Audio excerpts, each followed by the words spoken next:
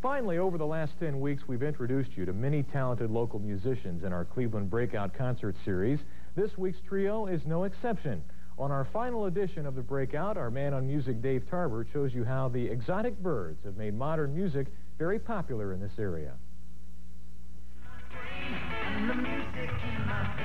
Modern technology has changed the way we all work and play. It has even changed the way the human art form of music is made. Computer composer Thomas Dolby blinded us with science in 1982 with his computerized high-tech sound. He defends the accusation that his synthesized style takes the human element out of music. I'm just using the most up-to-date tools available to make my music. It's almost as though the computer is my instrument the way the piano is Elton John's or the guitar is Joni Mitchell's. You know, it's my accompaniment for my songs.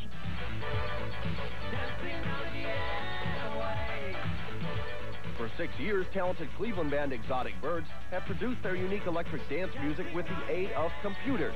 They use a technique known as sampling, which entails programming sequences of sounds into the computer to be recalled during the performance.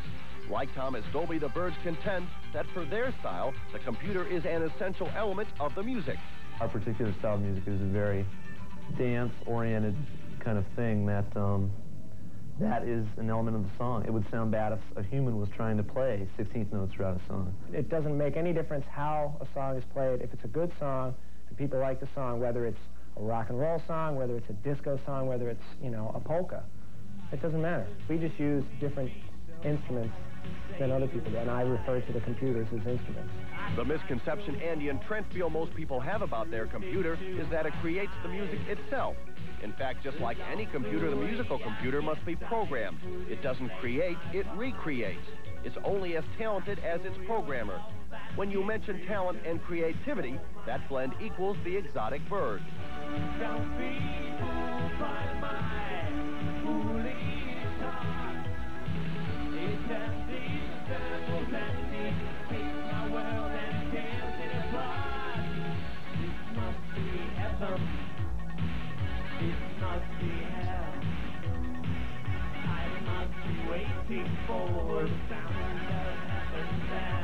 The exotic birds caught the eye and ear of the music industry when they opened for the Culture Club in 84 at the Coliseum. This year promises to soar the birds to new heights. The past 10 weeks, we've seen a great example of the musical talent in our city.